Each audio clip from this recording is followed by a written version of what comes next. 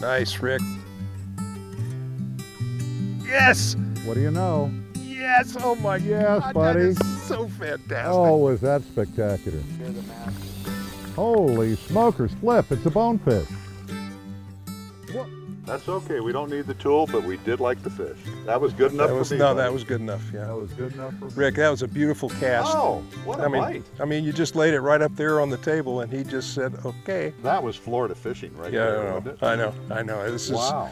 this is like going home, but with mountains. Flip. And I don't care who you are. This is special. Is your heart like bumping? It is. It is. Not Oh, mine. it is. I'm surprised you can't hear it from over yonder. You know, I expect to see Lewis and Clark just popping over the hill here any second. The aura of Meriwether Lewis and William Clark still lingers over these waters. 200 years ago, those men led their corps of discovery through the valley of the Big Hole River and would recognize it still today. Now I'm bound for a prime angling location named for one of the great explorers, Meriwether Ranch, near the town of Melrose in Montana's Silver Bow County, and more importantly, right on the Big Hole River itself, with an estimated 3,000 trout per river mile. The Big Hole River is probably the quintessential blue ribbon trout stream in the state of Montana. We get people from all walks of life, all around the world, come to Melrose to fish the Big Hole River. It has canyons, it has prairie, big rolly valleys that open up into huge vistas, very tight canyons, fast bouldery runs.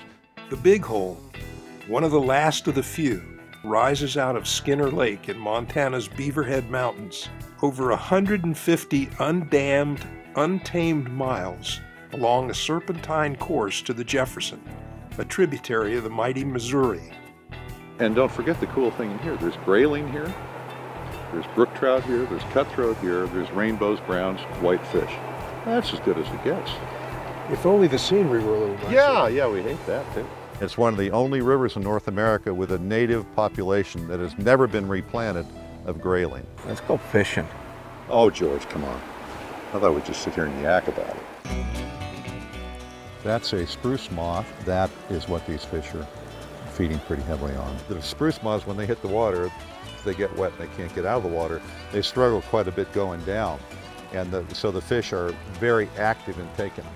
And what happens is, when these moths are really struggling on the surface, you can fish a dry fly almost like a popper and just twitch, twitch, twitch it across the surface. And fish that won't take a dead drift will blast, blast They a, get excited. a twitched fly. And it's really fun because it makes it very simple.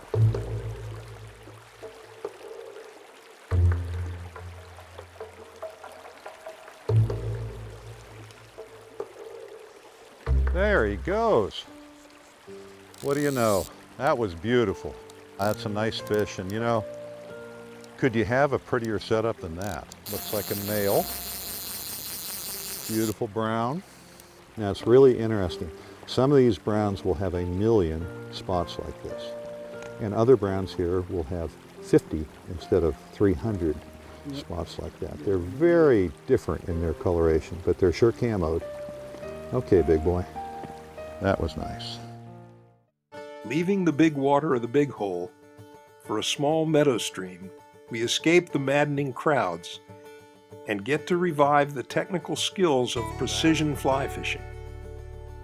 This is angling with a sense of discovery that Lewis and Clark felt in this same country and on this same water. Ooh, ooh, this is a good one for you. Ooh, Okay. Let's see how we can miss here, George. No. George, now you deserve to bite on that. There he is. All right, what is it, George? Oh, that is gorgeous, isn't it? For this water, Yeah. what a gorgeous brown. George, where was he? Uh, right on the bend? Right in the water. Oh, in the water? No kidding. Yeah. You don't see that every day. No. Right in the water. I got to use that when I get home. we fish together and alternate holes. We'll take a shot, catch a fish, switch anglers. And going with George, he knows all these little great sweet spots around this area. You know, adding him to the mix and watching him fish this, he's fished this area since he was a boy. Who's next? It's Flip. Well, hello. What a fish! What a deal. What a fish! I asked you who was next. Oh, what a Oh. cow for this crick. George, that was beautiful. Now look how few spots they have on that. They're all different. He's smoking us. You notice that? The We're old guy. catching the little guys, and the native son is catching Hey, the big one. hey, Vader. what's going on here? Yeah. I don't know. We're standing here and he's standing there. There's the difference. I asked you guys want to fish. Goody Creek. I knew it. It's so fun to fish with these guys because we're learning stories, we're learning techniques, and we get to have fun with each other when we make a bad cast, most importantly. Flip, I've got a really good pool here, so while I let that rest, I'm just gonna do a little dabbing. Go, girl. Boy, there's gotta be somebody big in this house. Oh, there he is. Wow. the whale of Goody Creek. Look at this guy. Now, how I'm gonna land him, I can't begin to tell you, but How deep is it? if my hat floats off, George, it was really deep. Let me grab the hat? Yeah, at least get my hat, will you? Oh. How's that? Look at the white on that fin. Go back there and tell your friends how wonderful that was. I mean, how fun is this? We're in the right place. This is pretty delightful fishing. Anybody that can't enjoy this is here for the wrong reason. I'm going to use a, uh, a really light colored Royal Wulff, big, and hope that those little bitty fish don't eat it and all you guys catch the little ones. And I'm going to catch the big ones with this big Wulff. Small water calls for large technical skills, longer leaders, pinpoint casting, perfect presentation, sure strikes. All this is what's best about an unforgiving small stream, as opposed to broad rivers. That's a 22 incher. That was beautiful. And a dandy, too.